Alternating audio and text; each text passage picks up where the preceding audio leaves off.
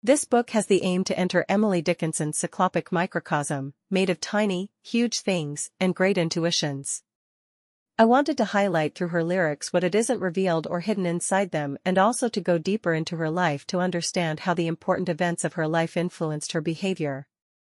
In her personality, we can find all the fragilities of her poetic genius, together with the spiritual troubles gripping a newborn modern society too. Emily's life is like a tenacious carp that swims backwards among the flows of a full raging river, searching a safe cave to lay down its white eggs, or wandering in her white dress, feeding herself with frugal bites like an unprotected little bird, while the fire of the poetic creation is bursting into her soul.